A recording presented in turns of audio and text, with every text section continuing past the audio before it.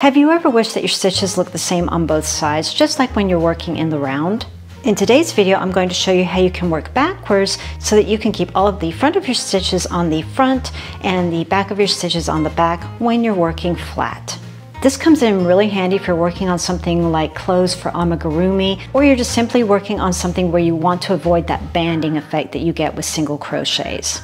Now the only thing that we can't achieve with this technique is keeping those single crochets going in the same direction. The only way you're going to get that is if you work in the round or if you fasten on and off after every row, which is a great option, but you do have a lot of ends to deal with. Now, speaking of this, I do have a video where I did a hack on how to achieve this without having to cut your yarn, and I'll go ahead and add a link to it here. But just keep in mind that this is something I recommend for small projects because you do use a lot of yarn for that technique. But once you get the hang of this technique, this is such a great alternative. I think you're really going to love it.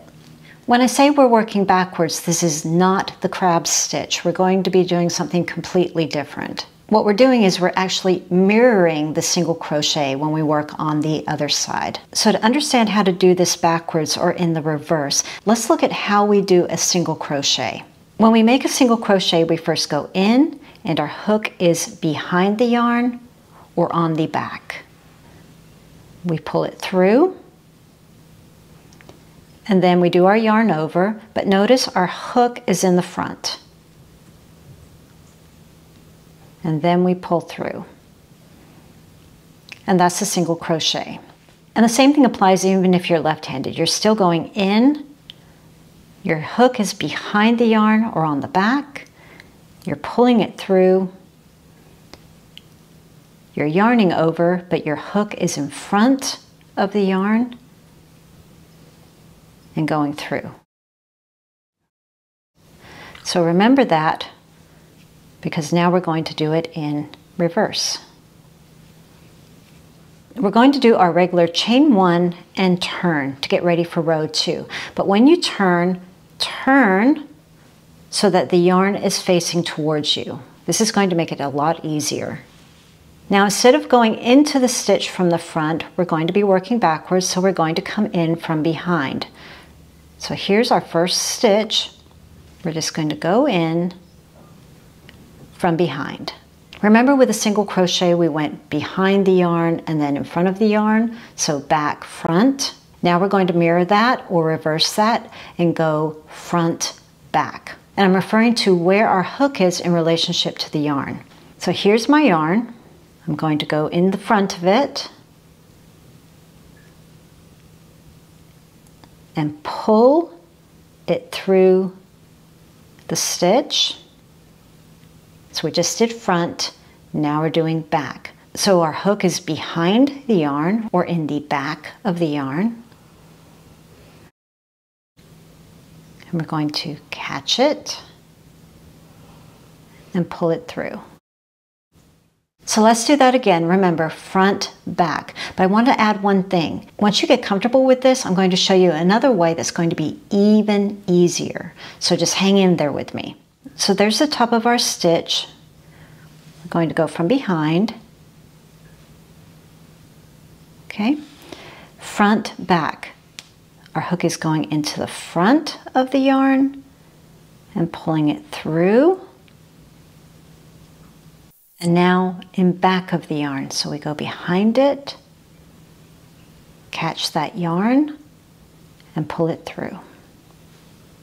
And then to tighten our tension, just pull the yarn towards you and continue on. Now once you get the hang of that, the most important thing here that you really want to remember is that front motion when you start that stitch. After that, you can actually go back to a normal yarn over and still get the same effect. Okay? Front,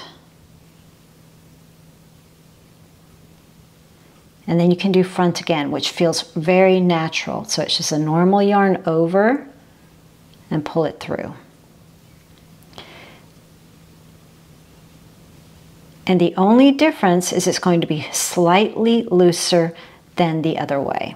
There's barely a difference here, just slightly looser because you're taking in a little bit more yarn when you do that yarn over. So we come in from behind front, pulling the yarn through, and then you can do front again, just a typical yarn over. Hooks in front, and pull it through. Come in from behind, front,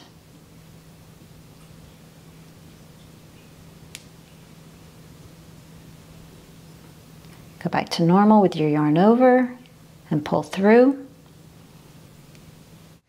So if you look here closely, it's a very subtle difference, but the first half of stitches are quite tight, and then the second half are a little bit looser. That's the only difference you're going to see.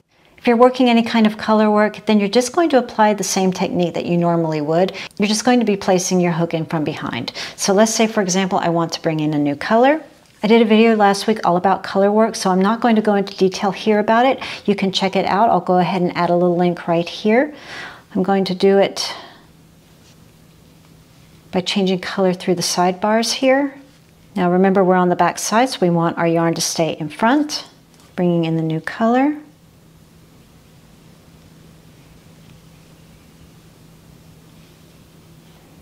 And then just continue on like you normally would. Now let's say for example you're carrying your yarn. Just go ahead and do everything just like you would. You're just doing it backwards. So you go through, making sure that yarn is right underneath it. Remember front,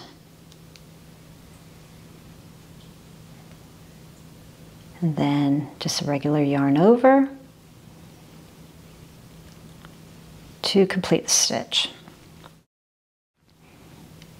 And then you would just continue on with your pattern.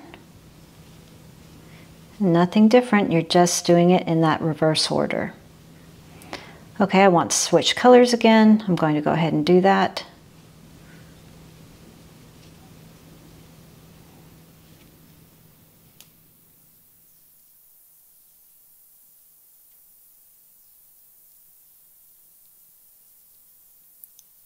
Depending on the kind of color work you're doing, you're either going to drop that yarn or continue carrying it.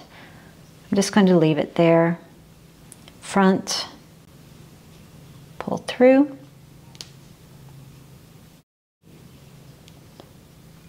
And continue on.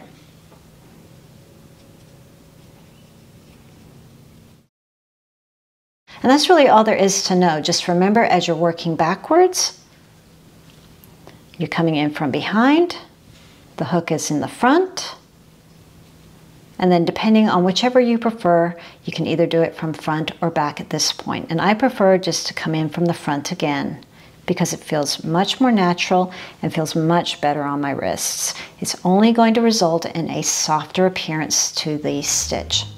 Well, I hope you enjoyed the video. Let me know if you're going to give this a try. If you missed the video I did last week about color work and doing color changes, I think you'll enjoy that one. You can find it here along with another video. Thanks for watching and I'll see you in the next one.